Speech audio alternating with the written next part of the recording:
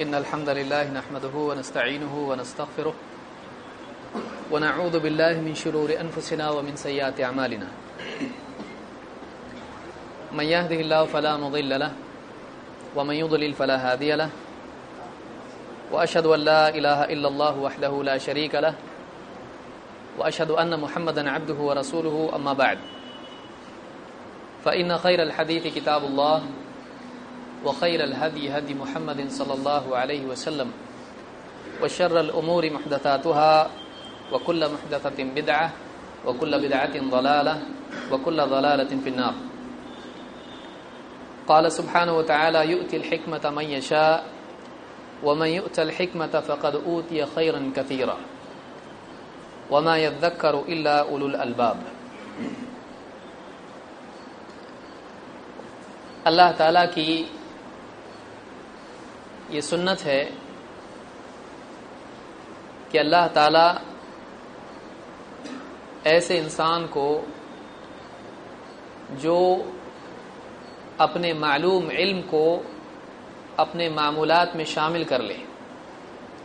ऐसा इल्म अता फरमाता है जो उस इल्म से जायद होता है। एक आदमी कुरान और सुन्नत का इल्म हासिल करता है और अपनी इस्तेदाद के मुताबिक उस इल्म पर अमल करता है। तो इस अमल की बरकत से, अल्लाह ताला के हुक्म की फर्मा बरदारी की बरकत से, अल्लाह ताला उसको दीन की मजीद गहरी समझ अता फरमाता है। वल्लदीन तदव ज़ादहम हुदा। जो लोग हिदायत इख्तियार करते हैं, हम उनकी हिदायत और बढ़ा देते हैं।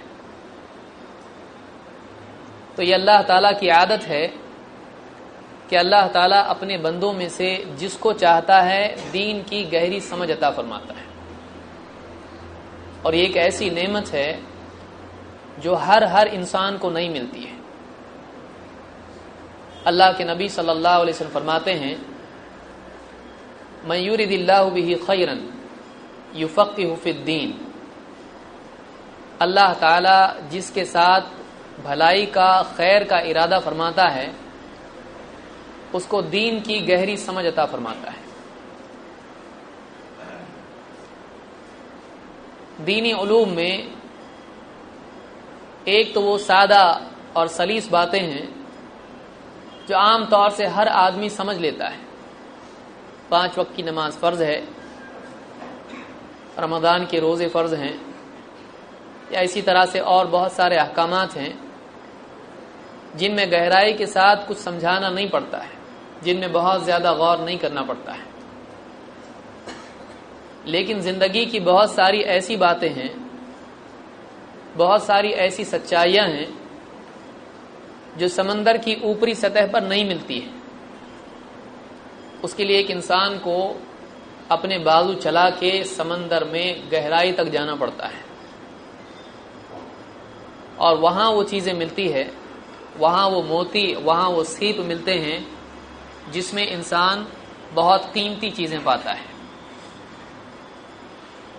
अल्लाह ताला जिसको चाहता है, ये सलाहियत देता है कि वो दीन के मामलात में, ज़िंदगी के उमूर में, कुरान और सुन्नत की बातों में दुनिया और आखिरत के हक़ायक में गौर करे और गहरी बातें ढूंढ के लाए। उन गहरी बातों को हासिल करे और अपनी सोच की सतह को ऊँचा करे। किताब सुन्नत के दलाल में गहराई में जाए, नीचे तक जाए, गहराई में। जो आदमी ऐसा करता है, उसकी सोच की सतह बहुत आला हो जाती है। लेकिन ये सारा सिलसिला शुरू होता है अल्लाह ताला के दिए हुए इल्म, अल्लाह के हुक्म की फर्मा बरदारी से। इसके बगैर ये चीज़ नहीं मिल सकती है। वाकई जब एक इंसान अपने मालूम इल्म पर अमल करने लगता है तो अल्लाह ताला फहम के दरवाजे उसके लिए खोलता है। दीन की गहरी समझ उसको मिलने लगती है। और इसी का नाम हिकमत है। हिकमत अरबी ज़बान के एतबार से ने लिखा है कि हिकमत के माना क्या है? हिकमत के माना है किसी चीज़ को उसकी अपनी मुनासिब जगह पर रखना। जो चीज़ जहाँ रखने की है, उसको वहाँ रखना ज़िंदगी के बहुत सारे हकायक हैं। ज़िंदगी में बहुत सारी हकीकतें हैं, सच्चाइयाँ हैं। बहुत सारे लोग ज़िंदगी गुजार के मर जाते हैं। उनकी सोच खाने, पीने, कपड़े, घर, तजारत इसी में लगी रहती है। लेकिन वो दीन की गहराइयाँ नहीं जान पाते हैं। उनको रूहानी गज़ा वाकई वो नहीं मिल पाती है जो असल में अल्लाह की तरफ़ से एक बहुत बड़ी नेमत दुनिया में है। एक इंसान का माल की सतह पर ऊँची ज़िंदगी जीना उसके लिए नेमत है, ठीक है, लेकिन ये आजमाइश भी है। लेकिन एक इंसान वाकई लज्जत तब हासिल करता है जब उसकी सोच आला हो। आला सोच खुद एक लज्जत है, बल्कि इससे ज़्यादा बेहतर कोई लज्जत दुनिया में तस्वुर नहीं हो सकती है। इसीलिए आप देखेंगे कि अल्लाह के नबी सल्लल्लाहु अलैहि वसल्लम के घर में फाका है। आप सल्लल्लाहु अलैहि वसल्लम के घर में उमर रदी अल्लाह तला दाखिल हुए तो देखा कि आप बोरिए पर लेटे हुए हैं। अल्लाह का नबी है, अल्लाह के रसूल हैं और मक्का में मेराज हो चुकी है। अल्लाह की तरफ़ से सवारी आसमानों की सैर कराने के लिए भेजी गई थी, सबसे बड़े फरिश्ते के साथ। और उस पर सवार होकर आपने आसमानों का सफ़र किया है। जन्नत आपने देखी, जहन्नम आपने देखी।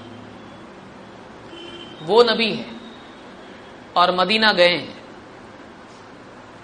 और लेटे हैं बोरिए पर। उमर रदी अल्लाह जब कमरे में दाखिल हुए, आप सल्लल्लाहु अलैहि वसल्लम लेटे हुए हैं और कमीस नहीं है। आप उठ के बैठ गए, उमर रदी अल्लाह ने देखा आपके बदन पर बोरिए के निशान बने हुए हैं। जिसम पर निशान, कितना खुरदरा बोरिया है कि आप लेटे हैं, जिसम पर निशान बन रहा है। घर में निगाह दौड़ाई देखा है कोने में कुछ जौ रखे हुए, मुट्ठी भर जौ रखे हुए हैं। और एक तरफ़ चमड़ा अभी दिबागत नहीं दिया हुआ है, वो लटका हुआ है। तो चमड़ा लटका हुआ है जानवर का। बस घर में कुल कायनात यही है। घर की सारी चीज़ें अगर कुल मिला ली जाए, बस इतना ही, और कुछ नहीं है। उमर रदी अल्लाह तु अगर चाहे खुद भी फ़क्र, फाका और जुहद और जुहद की ज़िंदगी गुजारते थे। लेकिन उन्होंने जब अल्लाह के नबी सल्लल्लाहु अलैहि वसल्लम के घर के हाल को देखा तो उनकी आँखों से आँसू निकल गए रोने लगे। ऐसा इंसान जिसको देख के लोग घबराते थे, जिसके रास्ते को शैतान भी छोड़ देता था। इतना कवि आदमी है, इतना बहादुर आदमी है। लेकिन अल्लाह के नबी सल्लल्लाहु अलैहि वसल्लम के घर का हाल जब देखा तो उसका तासुर यह था कि आँखों से उसका इजहार हो गया। दिल वो बोझ बर्दाश्त नहीं कर पाया। आँखों से आँसू निकल गए। अल्लाह के नबी सल्लल्लाहु अलैहि वसल्लम ने देखा। आपने पूछा, मा युबकी का या अमर यबन खत्ताब ए खत्ताब के बेटे, क्या चीज़ है जिसकी वजह से तू रोता है? क्यों रोता है? रोया क्यों? उमर अदी अल्लाह ने जवाब दिया, ए अल्लाह के रसूल कैसर और किसरा हैं, ये सिमार और अनहार में हैं। ये फलों में, बागों में जी रहे हैं। ये नहरों में ज़िंदगी गुजार रहे हैं। ऐश व इशरत में जी रहे हैं। वह अंत रसूल और आप अल्लाह के रसूल हैं, और आपका ये हाल है। आपके घर का ये हाल है। घर का ये हाल है। लेकिन सोच का क्या हाल है? आपने फरमाया, ए उमर, क्या तू ये नहीं चाहता कि, यानी क्या तू इस बात से राज़ी नहीं है कि इन लोगों के लिए कैसर हैं, किसरा हैं, कुफार हैं, इन लोगों के लिए दुनिया हो जाए और हमारे लिए आखिरत हो? इनको दुनिया मिल गई, मिल जाए। दुनिया तोहफा नहीं है दुनिया आजमाइश है। दुनिया अल्लाह ताला का इनाम नहीं है। वो अल्लाह ताला की तरफ़ से आजमाइश है, इम्तहान है आपने फरमाया उमर, आपने सोच को सही किया। उमर अदी अल्लाह के जज्बात को मोड़ दिया। शिकायत की बजाय और अफसोस की बजाय उनको आखिरत की तरफ़, रगबत की तरफ़ फेर दिया और शुक्र की तरफ़ फेर दिया। देखिए, एक होता है शिकायत और एक होता है शुक्र। शिकायत महरूमी के एहसास से पैदा होती है। और शुक्र पाने के एहसास से पैदा होता है। दो एहसास होते हैं, नहीं मिला। मिलना चाहिए था, नहीं मिला। ये शिकायत है। और अल्लाह का एहसान है, कितनी बड़ी नेमत मिल गई। हक नहीं था, लेकिन फिर भी मिला। ये शुक्र है। अल्लाह के नबी सल्लल्लाहु अलैहि वसल्लम ने उमर रदी अल्लाह का जहन शिकायत से शुक्र की तरफ़ मोड़ दिया है। ये सोच की कुत है कि आदमी के घर में कुछ नहीं है।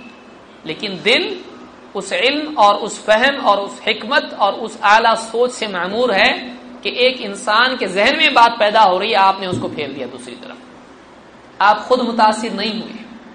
आपको खुद नहीं लगा कि हाँ देखो मैं अल्लाह का नबी हूँ और मेरे पास नहीं है, बल्कि आप, आपका हर अमल आपके सोचे समझे फ़िक्र का नतीजा था। आपकी महरूमी, आपकी इख्तियारी चीज़ थी। ऐसा नहीं कि चाहते हैं, लेकिन मिल रहा नहीं है। मजबूरी है, ऐसा नहीं था। आपका दुनिया में जोहद को इख्तियार करना, आपका दुनिया में तंगी को इख्तियार करना आपका अपना फैसला था। वरना आपको इख्तियार दिया गया था कि आपके लिए मदीना के पहाड़ों को सोने के पहाड़ बना दिया जाए। आपने कहा, नहीं। अल्लाह, मुझको तो ये चाहिए कि तू एक दिन मुझको दे तो तेरा शुक्र करूँ और एक दिन ना दे तो सब्र करूँ। क्योंकि मोमिन बंदा इन दोनों कैफियात को अपने ईमान की तरक्की का ज़रिया बनाता है। जब उसको नहीं मिलता है तो सब्र के ज़रिए से तकदीर पर राज़ी होता है और अपने ईमान का सबूत देता है। और जब मिलता है तो अल्लाह ताला की रबूबियत का इकरार करते हुए उसके मुनम और मुहसिन होने का इकरार करके शुक्र के एहसास अल्लाह की बारगाह में पेश करता है। ये मोमिन है। एक दिन मिले तो शुक्र करूँ, नहीं मिले तो सब्र करूँ। आला सोच इंसान खरीद नहीं सकता है। कोई आदमी आपको आज तक मिला, आप अपने मोबाइल की मेमोरी चेंज कर सकते हो, उसका सॉफ्टवेयर आप चेंज कर सकते हो, अपना सॉफ्टवेयर आप खरीद नहीं सकते ये अल्लाह की तरफ़ से दिया जाता है। ये अल्लाह की तरफ़ से दिया जाता है। फासिकीन को, मुनाफिकीन को, कुफार को मक्र फरेब मिल सकता है, हिकमत नहीं मिलती है। हिकमत आला नेमत है। कोई आदमी चालबाजी को हिकमत ना समझे। कोई आदमी धोखेबाजी को हिकमत ना समझे। हिकमत फ़ी नफ्सी ही एक नेमत है। हिकमत एक नेमत है अल्लाह की तरफ़ से दुनिया में इनाम है साल अमल का। इंसान को आला सतह से और आला बनाने वाली चीज़ है। अदना से आला बनाती है, हिकमत। मकर व मकर व मकर अल्लाह खैर मकर खुद एक जुर्म है लेकिन हिकमत अल्लाह की तरफ़ से इनाम है इसीलिए अल्लाह ने क्या फरमाया युतिल हिकमत मैशा अल्लाह जिसको चाहता है हिकमत अता फरमाता है सबको नहीं मैशा अल्लाह जिसको चाहता है हिकमत अता फरमाता है वमन युतल हिकमत फ़कद ऊतिया खैरन कसीरा और जिसको हिकमत अता की गई, उसको बहुत ज़्यादा खैर अता की गई। अल्लाह ने इसको खैर अता फरमाया। इसको खैर कहा है। ये खैर भलाई है। वमतल हिकमत फ़कद ऊत या खैरन कसीरा। और जिसको हिकमत दी गई, उसको खैर कसीर दी गई। वमा यदक्कर अलबाब। और नसीहत तो वही लोग मानते हैं जो अकल वाले हैं। नसीहत करने के लिए भी अकल चाहिए। और नसीहत समझने के लिए भी अकल चाहिए। नादान अगर उसको कोई समझाता है, और ज़्यादा फखर में और बड़ाई में मुबतला हो जाता है। उसको लगता सब मुझको समझा रहे मैं भी कुछ हूँ। वो अपनी गलती की बजाय अपने इकराम को सोचने लगता है। तो बल्कि बाद अवकात एक नादान को समझाएँ तो समझाने वाले को बेवकूफ़ कहता है।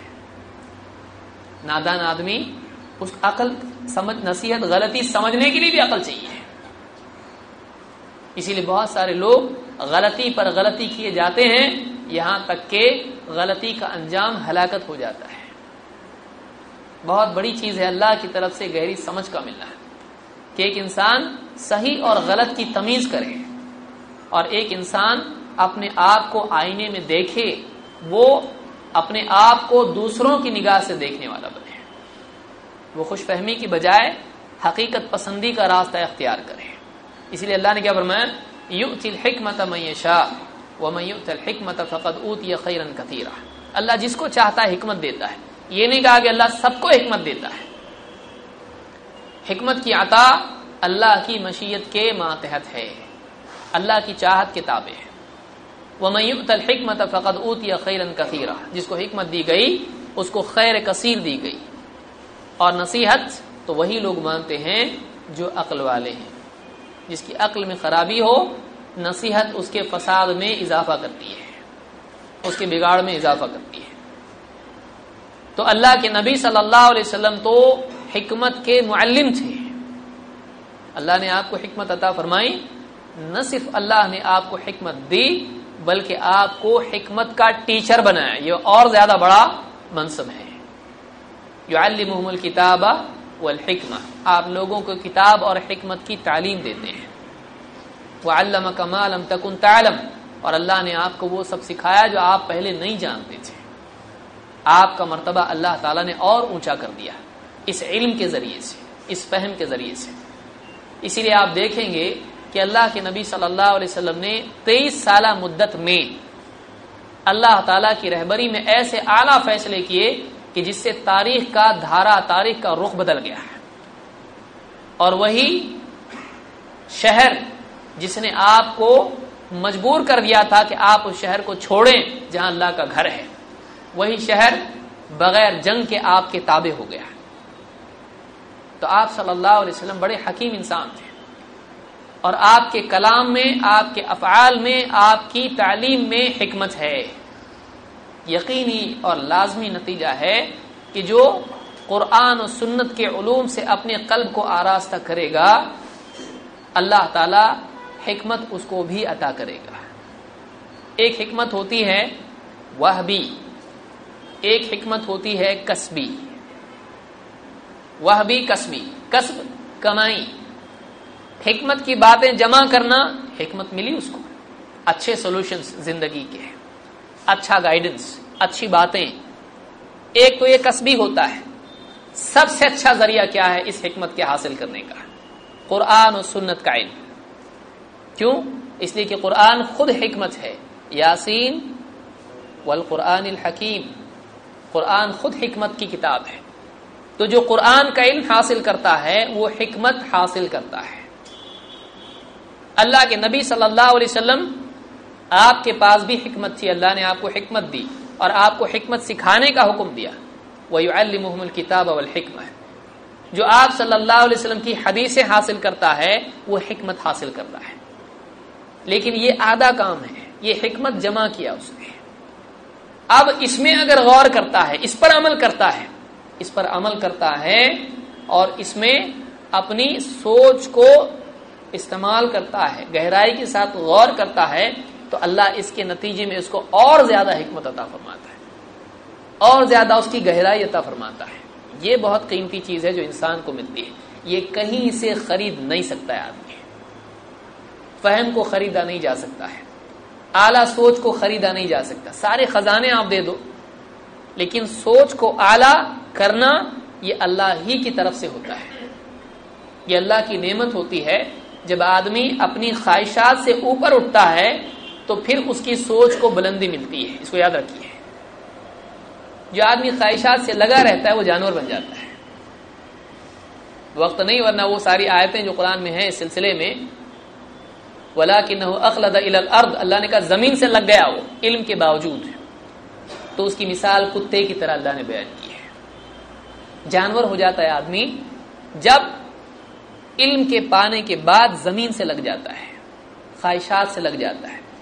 लेकिन जब ख्वाहिशात से ऊपर उठता है और अपनी ख्वाहिशात को शरीयत के ताबे करता है और अपने इल्म को अपना इमाम बनाता है तो फिर अल्लाह ताला उसको आला सोच अता फरमाता है और वो उस सोच के ज़रिए से एक आला ज़िंदगी जीता है।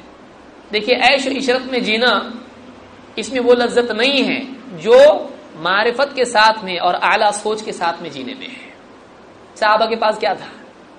लेकिन आप उनका लेवल देखिए। उनका लेवल देखिए। कुछ नहीं हो के भी उनके पास सब कुछ है। उनके पास पाने वाले उनकी जूतियों में थे। उमर अदी अल्लाह ने क्या कहा था? जब उनको कहा, एक सहाबी ने, आप बड़े लोगों से मिलने जा रहे हैं। बहुत बड़े बड़े लोग हैं वो। बड़े। बड़े कैसे? दुनिया में एतबार से बड़े हैं। बादशाह लोगों में ऊँचे अथॉरिटी वाले उमर रदी अल्लाह ने उनसे कहा, उनके कपड़ों पर पैबंद लगे हुए हैं। ये कह थोड़ा अच्छा कपड़ा तो पहन के जाओ, थोड़ा टिप टॉप होके जाओ उनके सामने। आप हुकूमत के हुक्मरान हो। इतनी बड़ी सल्तनत के आप खलीफा हो। आप थोड़े अच्छे कपड़े, अच्छे हाल में मिलो उनसे। मीटिंग है आपकी। अथॉरिटीज बड़ी बड़ी उनसे मिलना है आपको। थोड़े अच्छे कपड़े पहन के उनसे मिलिए आप। तो मैंने कहा, अगर कोई और होता, उसका चेहरे का रंग बदल देता मैं। अल्लाह की कसम, हम जलील थे। अल्लाह ताला ने इस इस्लाम के ज़रिए से हमको इज़्ज़त दी। अगर इस इस्लाम की बजाय, दीन की बजाय किसी और चीज़ से हम इज़्ज़त हासिल करने की कोशिश करेंगे, अल्लाह ताला फिर से हमको वैसा ही जलील करेगा जैसे हम पहले थे। ये ऊँची सोच है। कहाँ से लिया ये? अल्लाह के नबी सल्लल्लाहु अलैहि वसल्लम की सोहबत से लिया। कि आदमी को दुनिया के खोने का एहसास नहीं हो। दीन के पाने की लज्जत, दीन के पाने की खुशी दुनिया के खोने के गम पर जब गालिब होती है तो ये इस बात की अलामत है कि वाकई इसकी सोच ऊँची है। इसको याद रखिए। फबिदाली का फल यफराहो व खैर मम्मा यजमाऊन। अल्लाह ने क्या फरमाया? कुल बिफल व बरहमती ही फबिदाली का यफराहो हुआ खैर मम्मा यजमाऊन। ए नबी, आप कहिए ईमान वालों से आप कहिए। कि अल्लाह का फजल है, उसकी रहमत है कि अल्लाह ने तुमको दीन दिया, कुरान दिया। अल्लाह का फजल है, उसकी रहमत है कि उसने तुमको दीन दिया, इस्लाम दिया। ये कुरान अल्लाह ने तुमको दिया। फबिदाली का फल यफरहो तो ईमान वालों को चाहिए कि इस दीन के, इस कुरान के पाने के बाद वो खुश हो जाएँ। इस पर वो खुश हो जाएँ। हुआ खैर मम्मा यजमाउन ये दीन, ये कुरान इसलिए कि उलमा ने दोनों तफसीरें की हैं इसकी। कहा कि इससे मुराद क्या है? कहा इससे मुराद दीन है, इस्लाम है। इससे मुराद कुरान है, और एक ही बात है, इसलिए कि पूरा इस्लाम कहाँ से मिलता है? कुरान और सुन्नत से मिलता है। तो ये फबिदाली का फल यफर हो ईमान वालों को चाहिए कि उस दीन के पाने के बाद अल्लाह की किताब और इल्म पाने के बाद खुश हो जाएँ। हुआ खैर यजमाउन दूसरे लोग जो जमा कर रहे हैं दुनिया की कौड़ियाँ दुनिया का माल और दौलत, दुनिया के असबाब, ये जो जमा कर रहे हैं, ये दीन, ये इल्म, ये कुरान उससे बेहतर है। वह खैर मम्मा यजमाउन वाकई आदमी समझदार तब होता है जब उसके नज़दीक अल्लाह का दिया हुआ दीन, अल्लाह का दिया हुआ इल्म, ये ज़्यादा कीमती हो जाता है दुनिया की मालूमता से। क्योंकि ये यही रहने वाला है ये इंसान को जन्नती नहीं बना सकता है। लेकिन ये इल्म इंसान को दुनिया में भी आला इंसान बनाएगा किरदार के अतबार से और आखिरत में भी उसको जन्नत की आला सतह अता फरमाएगा। इस इल्म के ज़रिए से मिलता है। तो बहरहाल, ये हमत है। और हमत कैसे मिलती है? जो आदमी, जो इल्म उसके पास है, उस इल्म पर जब अमल करता है तो अल्लाह ताला इस अमल के ज़रिए से उसको मजीद इल्म अता फरमाता है, जो कि अल्लाह ही की तरफ़ से मिलता है, कहीं और से उसको हासिल नहीं किया जा सकता है। कहीं और से वो पा नहीं सकता है। इसीलिए आप सलफ के अकवाल देखें। इन अकवाल में आपको मिलेगा कि ये लोग कैसी गहरी सतह पर जीने वाले थे। इनकी सोच कितनी आला थी कि एक जुमले में ज़िंदगी के ऐसे बड़े बड़े हकीकतें, ऐसे बड़े बड़े हकायक बयान कर देते हैं कि हमको उसको समझाने के लिए बहुत वक्त लगता है। इसीलिए उलमा ने हमत के बारे में एक बात यह भी कही है कि बहुत गहरी बात, बहुत कम अल्फाज में कही जाए, ये भी हमत की अलामत है कि इस आदमी को हिकमत मिली है कि अल्फाज की किल्लत और मानी का गहरापन जब दोनों जमा हो जाएँ तो वाकई ये हिकमत की बात है। इसलिए आप देखें, अल्लाह के नबी वसल्लम की एक एक हदीस को समझाने बाद अवकात दस दस और पंद्रह पंद्रह सफ़े खर्च करते हैं। इन्नमल अमाल बिनियात को आप देखें उलमा ने कितना समझाया है। चौंतीस चौंतीस सफ़े तक इस हदीस को समझाया है। तो आप, यानी कुरान और सुन्नत के ूम को सीखना, समझना, ये खुद दुनिया में एक नेमत है। ये लज्जत आपको कहीं और नहीं मिलेगी। अल्लाह ताला इसकी तोफीक हमको अता फरमाए। इसीलिए बहुत सारे, यानी अकवाल के हमको मिलते हैं ज़िंदगी के बारे में।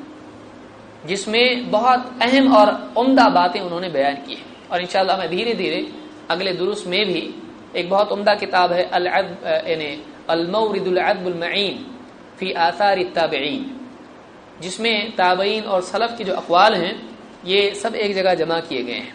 तो इंशाल्लाह मैं अगले दुरुस्त में भी जब भी मौका मिलेगा वह अकवाल आपके सामने रखूँगा। आज की इस गुफ्तु में इब्नकईम रही जो इबन तैमिया रहमत के शागिर्द हैं, और ख़ास शागिर्द हैं जिन्होंने तजकिया नफ्स से मुतालिक बहुत ही उम्दा किताबें लिखी हैं और इस बारे में कुरान और सुन्नत को अपना इमाम बनाते हुए उन्होंने सारे नफ्स की असलाह और तजकिया के अतबार से बहुत सारे उसूल और बहुत सारी बातें बयान की हैं। उनके अकवाल में से कुछ अकवाल में ज़िक्र करूँगा, इसलिए कि मेरे पास बहुत थोड़ा वक्त है। दो चार अकवाल में बयान करूँगा, इसलिए कि आज, अल्हम्दुलिल्लाह, आज हमारे यहाँ मजलिस में दो दो मुकद मौजूद हैं। तो यानी उनके लिए भी मैं वक्त बाकी रखूँगा। तो इख्तसार में कुछ बातें बयान करता हूँ। इबन कईम अलैह अपनी किताब मदारिजुसालिकीन में कहते हैं, कीमत, कीमतुल मरई हिम्मत व मतलब कीमतुल मरई हिम्मत हो व मतलब हो कहते हैं, आदमी की कीमत, उसके इरादे की कुत और उसके मकसूद से तय होती है। ज़िंदगी में दो चीज़ें होती हैं। अब देखिए, इसको देखते हैं हम लोग क्या बोले वो। आज बोले, क्या बोले? कुछ नहीं बोले। इतना छोटा। ज़िंदगी में दो चीज़ें होती हैं, जो आदमी के अमाल का रुख तय करती हैं और आदमी के मकासद में उसको कामयाब करती है। एक एक आदमी से पूछा जाए, क्या चाहिए? अब बच्चे को अपने पूछे बोलेगा, क्या चाहिए? सबसे अच्छा क्या चाहिए? बोलेगा, मुझको एक चॉकलेट चाहिए। उसकी सोच उतनी है। कोई फकीर है जो किसी दरगाह की सीढ़ी पर बैठा हुआ है, आप उससे पूछे, क्या चाहिए? बोलेगा, पचास पैसे चाहिए, एक रुपया चाहिए, दो रुपया चाहिए। हर आदमी का एक मकसूद होता है। उसका जो मकसद होता है वो उसके मैार को, उसके लेवल को तय करता है। आदमी का वैल्यू क्या है? आदमी का लेवल क्या है? उसकी हाइट क्या है? आदमी का कद, उसका लेवल उसके मकसद से तय होता है, बल्कि उसके मकसद से उसकी ज़िंदगी का रुख तय होता है। उसका किरदार निखरता है या बिगड़ता है उसके मकसद की वजह से। तो एक आदमी के उसकी ज़िंदगी में उसके मकसद का बहुत अहम रोल होता है। आदमी क्या चाहता है, उसको क्या चाहिए? जो उसकी चाहत होती है, उसका सबसे बड़ा मुंतहा, उसकी तलब का आखिरी सिरा। क्या चाहिए तेरे को? जिस लेवल का वो, उसका आदमी का कद होता है, जिस लेवल की उसकी ऊंचाई होती है, ज़ाहिर बात है उसी के अतबार से उसका मकसूद होता है। तो एक आदमी का क्या मकसद है ज़िंदगी में? जो मकसद उसका है, वही उसकी वैल्यू है। उस पर अगर टैग लगाया जाए, इसका क्या रेट है? इसका क्या भाव है मार्केट में? अल्लाह के मार्केट में इसका भाव क्या है? अल्लाह के यहाँ इसकी कीमत क्या है? अल्लाह के यहाँ तराजू में इसका वज़न कितना है? ये मालूम होता है, ये देखा जाए कि उसके दिल में सबसे ज़्यादा वज़न किसका है? अल्लाह के यहाँ वज़न अगर किसी का तय करना हो, कि इसका कितना वज़न है ये मालूम होगा, जब ये देखा जाए कि उसके दिल में सबसे ज़्यादा वजनी और भारी और कीमती चीज़ क्या है, उसका मकसद क्या है। कितने लोग हैं जिनके दिल में चार कौड़ियाँ, चार रुपए उनके नज़दीक सबसे ज़्यादा कीमती होते हैं। किसी के नज़दीक अहदा सबसे ज़्यादा कीमती होता है। किसी के नज़दीक दुनिया में शोहरत मकसूद होती है, उसका मकसद वो होता है। किसी के नज़दीक दुनिया के माल मता, उसका मकसद होता है। ये मिल जाए तो बस। चार पैसे मिल जाए तो बस। ओहदा मिल जाए तो बस। नाम हो जाए तो बस। दुनिया में फुला चीज़ मिल जाए तो बस। सबसे ज़्यादा उसको चाहिए। लेकिन वाकई इंसान का मकसद क्या है? ये उसकी वैल्यू तय करता है। सबसे कीमती आदमी वो है, जिसका मकसूद अल्लाह।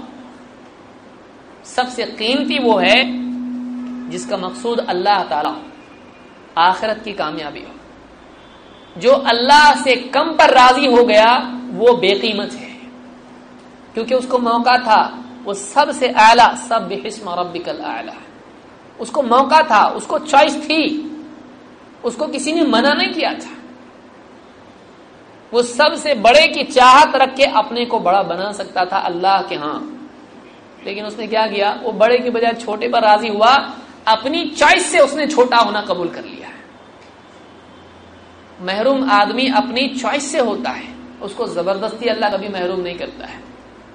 क्योंकि आदमी चाह सकता था कि मेरा मकसद अल्लाह है।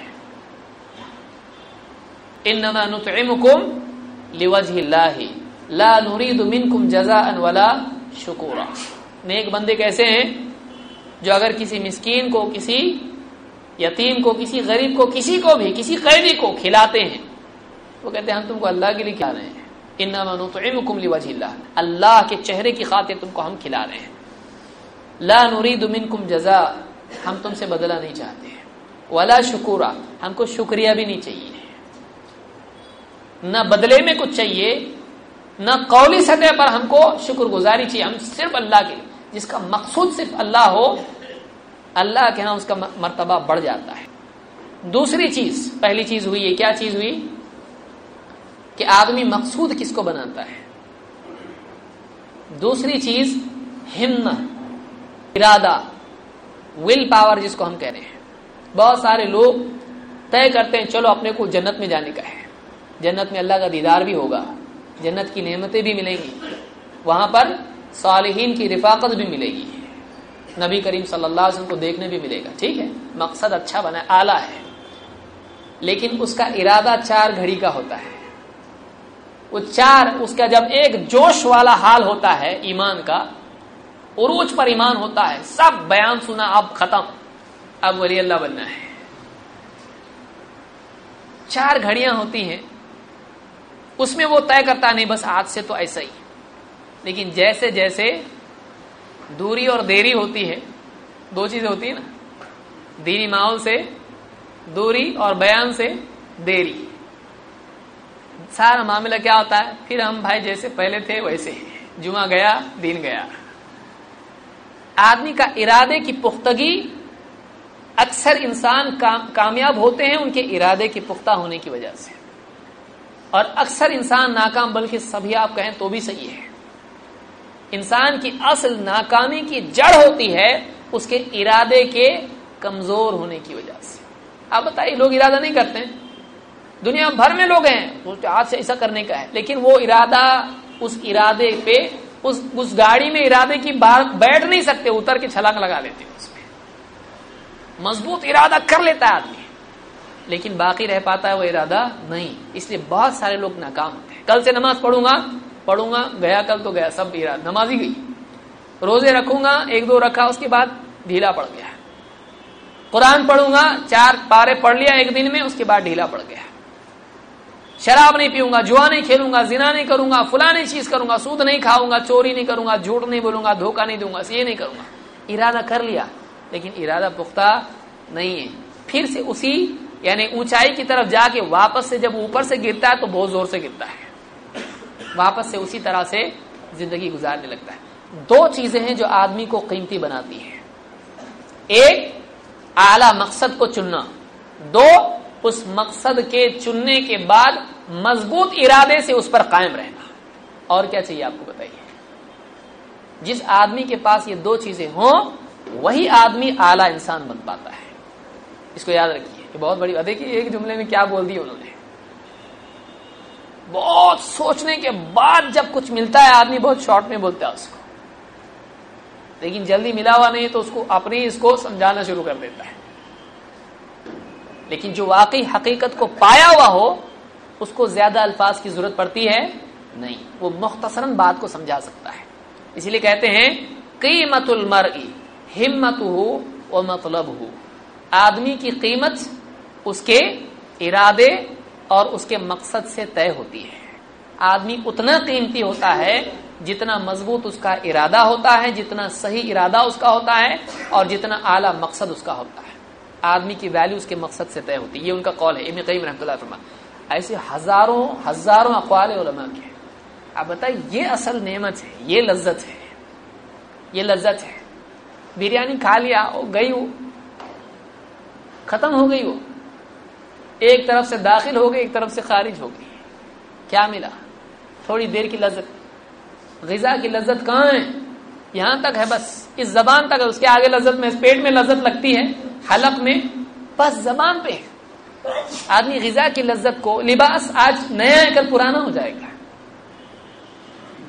नोट आज जेब में है, कल दूसरे की तिजोरी में होंगे। दुनिया की सारी लज्जतें खत्म होंगी लेकिन ये जो सोच की लज्जत है, आदमी की जो दिल में लज्जत होती है जो इल्म की लज्जत होती है, जो फहम की लज्जत होती है, ये जो लज्जत है, ये आदमी की ज़िंदगी भर साथ चलती है। बल्कि उसके लिए बहुत सारे मौके पर जहाँ उसका पाँव फिसलने वाला होता है, उसको बचा के रखती है। बचा के रखती है। आप सलाह को देखिए आप सलाह क्या फरमाया ए उमर, क्या तो इस बात पर राज़ी नहीं कि उनके लिए दुनिया हमारे लिए आखिरत? ये मौका है। है उमर ने क्या कहा? हम जलील थे। अल्लाह ने दीन से इज़्ज़त दी। और किसी चीज़ से इज़्ज़त चाहेंगे, अल्लाह फिर से जलील। ये मौका होता है, आदमी फिसल सकता है। आदमी के दिल में ख्याल आ सकते हैं। बातिल दिल में घोंसला बना सकता है। अंडे भी देगा फिर। लेकिन आदमी अगर वाकई उसकी सोच आला हो तो ऐसे सारे आने वाले जितने भी खारिज से अफकार होते हैं, गलत बातें हो सकती हैं, उनसे लड़ने की ताकत उसमें होती है। जब उसकी वाकई उसके पास इल्म हो, वाकई उसके पास ज़िंदगी में गहरी समझ हो, ये अल्लाह की बहुत बड़ी नेमत है जो आदमी को गुमराह होने से बचाती है। और आगे आई है मैं समझता हूँ मेरा वक्त खत्म हो गया है। नहीं, पाँच मिनट बाद अपनी किताब अल में इब्न कईम रहमत फरमाते हैं फ़ीथारुद्दुनिया आखिरत, इम्मा मिन फसाद फिल ईमान व इम्मा मिन फसाद फिल अक्ल. कहते हैं कि एक इंसान का दुनिया को आखिरत पर तरजीह देना, एक इंसान का दुनिया को आखिरत से ज़्यादा अहमियत देना, या तो ईमान के बिगाड़ की वजह से है या फिर अकल के बिगाड़ की वजह से। दो सतह हैं फैसले करने की। एक गैब पर ईमान, आलिमुल गैब की खबर पर फैसला करना। आलिमुल गैब व शहादा, ने जो हमको खबर दी है, उसकी बुनियाद पर, उस पर यकीन रखते हुए ज़िंदगी के फैसले करना। दूसरी सतह है, आदमी अकल की बुनियाद पर फैसला करे।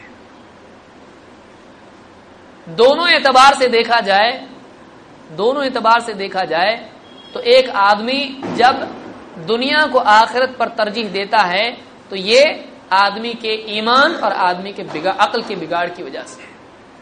एक आदमी जानता है, मसलन, एक आदमी दुनिया के लिए ज़िंदगी खपा दे अपनी।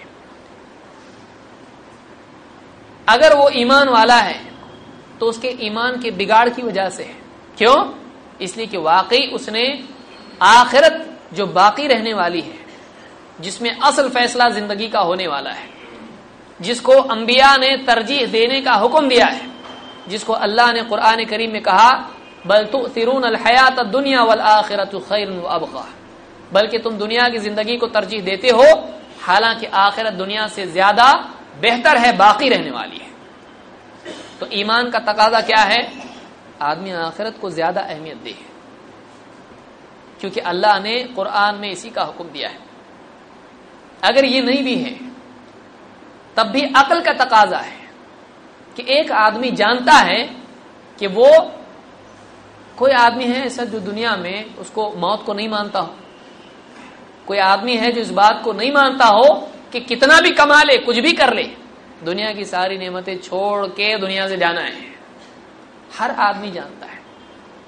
आदमी के ईमान और उसकी अक्ल का बिगाड़ होता है कि वो आदमी दुनिया को आखिरत पर तरजीह देता है। कम से कम इतनी अकल आदमी को होना चाहिए कि वो बड़े फ़ायदे को छोटे फ़ायदे पर तरजीह दे। बड़े नुकसान से बचने की फ़िक्र छोटे नुकसान से ज़्यादा करे। आप बताइए, किसी को चॉइस दी जाए, या तो तुम्हारी गर्दन कटेगी या तो उंगली, क्या चुनेगा? गर्दन? एक आदमी को मौका दिया जाए, जूते छोड़ो या फिर जान भी जाएगी। निकल जाओ यहाँ से। एक आदमी किसी बिल्डिंग में जलजला आ जाए, और उसका दस हज़ार का मोबाइल टेबल पे रखा हुआ है, लेकिन टेबल कौन सा टेबल? अंदर के रूम का और घर हिलने लग गया। क्या करेगा अंदर जाएगा, सोचेगा, भाई, बाहर के बाहर ड्राइंग हॉल में से ही भागो। क्यों? अंदर गया, घर गिर गया तो क्या हो जाएगा?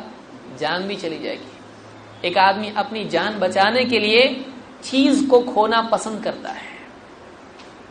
आप बताइए कि ज़मीन के नीचे दबना, पत्थरों के नीचे दबना, ये सजा है? और जहन्नम की आग में जलना है, सजा नहीं है। ये नुकसान नहीं है, ये हलाकत नहीं, ये बर्बादी नहीं दुनिया के अंदर एक अकलमंद आदमी है, जो छोटे नुकसान को बर्दाश्त कर लेता है, बड़े नुकसान से बचने के लिए। बताइए वो आदमी कितना जाहिल है, जो दुनिया के पीछे भाग रहा है, अपनी आखिरत बर्बाद कर रहा है। वो गुनाहों को इख्तियार कर रहा है, जबकि जानता है, ये थोड़ी सी लज्जत हमेशा की लज्जत से महरूमी का सबब है। ये छोटी सी लज्जत बहुत बड़े अजाब का ज़रिया बन सकती है। एक आदमी की अकल की खराबी, इसको अकल नहीं है। इसको अकल नहीं है। अगर वाकई अकल होती तो ये आखिरत को हमेशा तरजीह देता है। ये जहन्नम से दुनिया की तकलीफ़ के मुकाबले में ज़्यादा डरता है। ये जन्नत को दुनिया की राहत के मुकाबले में ज़्यादा तरजीह देता है। इसीलिए कहते हैं फ़ीसार दुनिया आखिर। एक आदमी का दुनिया को आखिरत पर तरजीह देना, इम्मा मिन फसाद इन फिल ईमान। या तो ईमान के बिगाड़ की वजह से है, ईमान में फसाद की वजह से है, या फिर आदमी की अकल ही खराब हो गई है, उसको समझता ही नहीं कि ज़्यादा अच्छा क्या है, ज़्यादा बुरा क्या है। इस वजह से आदमी दुनिया को ज़्यादा अहमियत देता है, दुनिया चुनता है आखिरत के मुकाबले में।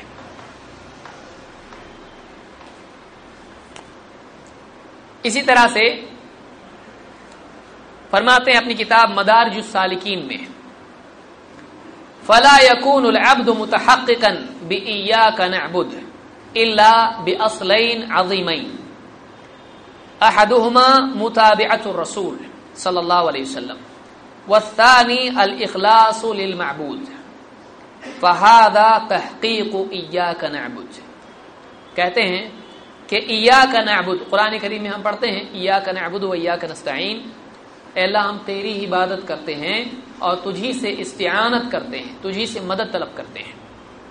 कहते हैं ईया का नबुद ये जो जुमला बंदा कह रहा है अपनी जबान से। इसका हक अदा नहीं हो सकता है जब तक के दो चीज़ों का एहतमाम ना हो।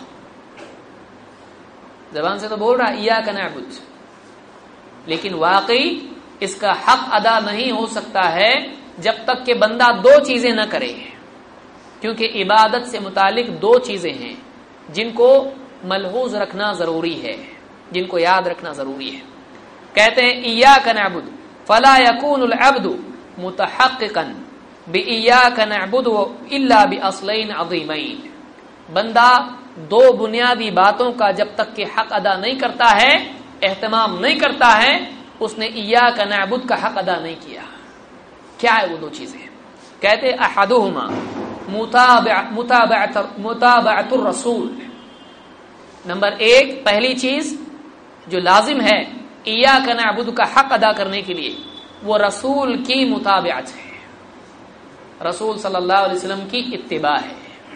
नंबर दो, वस्तानी अल इखलास महबूद महबूद के लिए इखलास इख्तियार करना। कहते हैं फहादा तहकीक ईया का नाबुद कहते ये ईया का हक अदा करना है। देखिए, इबादत, हम तेरी इबादत करते हैं।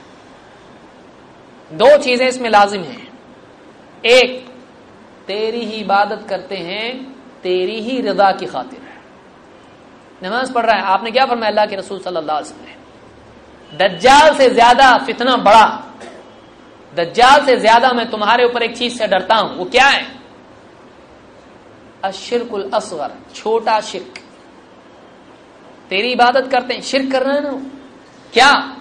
आपने फरमाया, ये कि आदमी नमाज़ के लिए खड़ा हो और किसी आदमी के देखने की वजह से अपनी नमाज़ को और ज़्यादा निखारे, अच्छी तरह से नमाज़ पढ़े। क्यों? किसी और की वजह से। तो चेहरे का किबला तो किबला है, लेकिन दिल का किबला वो मखलूक हुआ। कि आदमी रुख तो वहाँ किए हुए नाक से लेके और पेशानी से लेके और कदमों से लेके पूरा रुख उसका कहाँ है? काबा की तरफ़ है। लेकिन उसका दिल का रुख कहाँ है? बंदे की तरफ़। तो अल्लाह की इबादत कर रहा है, लेकिन अल्लाह के लिए नहीं कर रहा है तो अल्लाह की इबादत नहीं कर रहा है, क्योंकि वो कबूल नहीं होने वाला है। जो आदमी अल्लाह की इबादत अल्लाह के लिए न करे, वो इबादत मकबूल नहीं। कितना अफसोस हुआ आदमी कहाँ तक जाके फिर वापस खा लिया है? एक आदमी पहाड़ की चोटी तक पहुँचने पहुँचने तक एकदम करीब था, एक कदम उसका पड़ जाए तो चोटी पे पहुँच गया, हिमालय पे पहुँच गया। लेकिन फिर उसने ऐसा कुछ गलती की कि पूरा वहाँ से फिसल के नीचे गिरा तो पूरी गहराई में खाई में चला गया। एक आदमी अल्लाह की इबादत की हद तक पहुँच गया, कर रहा है अल्लाह की इबादत। उसको नफ्स से बचा, निकला, अपने बिस्तर से निकला, ठंडे पानी से उसने वज़ू किया। नफ्स को झटका, शैतान को झटका उसने सबसे बच बचा के अब खड़ा हुआ। और अल्लाह अकबर, किबला रुख हुआ। बावजू एकदम साफ़ सुथरा होके अल्लाह, दिल को साफ़ नहीं किया इसने। उसने चेहरा धोया, कुल्ली की, हाथ, पाँव, सब साफ़ सब साफ़, पाक साफ़ अच्छा लिबास, सब नमाज़ खूबसूरत मक्का, मदीना का। उस पर किबला रुख हुआ। उसने अपने चेहरे का रुख तो सही किया, लेकिन अपने दिल का रुख अभी सही नहीं किया।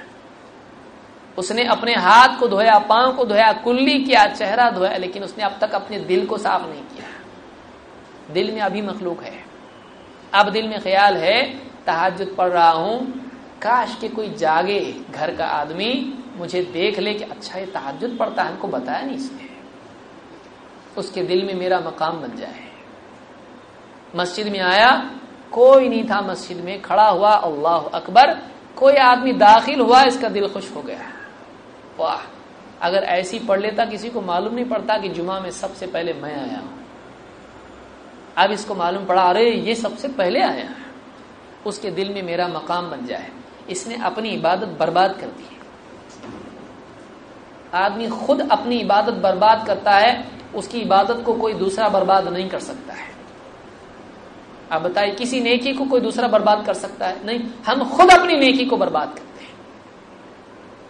तो ईया का नाम सूरतुल फातिहा में पढ़ रहे हैं, नमाज़ में खड़े होके। लेकिन दिल किसकी तरफ़ है कि फुला आदमी मुझको फुला सबसे देख रहा है, उसके दिल में मेरा मकाम बन जाए कि क्या नमाजी है, इसने कभी भी नमाज़ छोड़ा नहीं और कैसी प्यारी नमाज़ पढ़ता है। काश के हम भी ऐसी नमाज़ पढ़ें। उसके दिल में बात आ जाए, इसी नमाज़ पढ़ू मैं, जगमगाती नमाज़ पढ़ू एकदम तो कहते हैं कि एक एक अमल में इया का नैबू तेरी इबादत करते हैं। अल्लाह की इबादत कर रहा है, लेकिन अल्लाह की इबादत जब तक के अल्लाह के लिए ना करे, वो अल्लाह की इबादत ठहरती ही नहीं है। उसका स्वभाव नहीं मिलेगा, सजा मिलेगी उसके ऊपर आज़ाद होगा उस पर। और दो, अल्लाह की इबादत का एक बातिन है, एक ज़ाहिर है। अल्लाह की इबादत करने में दो चीज़ें हैं, एक बातिन है अंदर और एक बाहर। एक ज़ाहिर अंदर सिर्फ़ अल्लाह के लिए अल्लाह की इबादत करना, इखलास। और बाहर इबादत करना मनमानी के साथ नहीं, मनमाने तरीके पर नहीं, अल्लाह के रसूल सल्लल्लाहु अलैहि वसल्लम के तरीके पर है। तो इबादत के दो पहलू हैं। किसकी इबादत? कैसे इबादत? किसकी इबादत? अल्लाह की इबादत किसके लिए? अल्लाह के कैसे नबी सल्लल्लाहु अलैहि वसल्लम के तरीके पर जब तक कि ये दो चीज़ें आदमी न करे, आदमी की इबादत मकबूल नहीं है। तो ईया का नाबुद का दावा उस वक्त तक के सही नहीं हो सकता है, जब तक के दो चीज़ों का एहतमाम हक आदमी अदा न करे, एहतमाम न करे। वो दो चीज़ें क्या हैं? इखलास नीयत और इतबा सुन्नत। दो चीज़ें, और वही कलमे में ला इलाहा इल्लल्लाह मोहम्मद रसूलुल्लाह। इबादत किसकी? और इबादत किसके तरीके पर? एक शर्त बातिन की, एक शर्त वाहिर की। अमल की कबूलियत के लिए दो शर्तें हैं। एक अंदर की शर्त, एक बाहर की शर्त। जब तक ये दो पूरी न करें, अमल कबूल नहीं। अंदर की शर्त, खालिस अल्लाह के लिए आदमी अमल करे।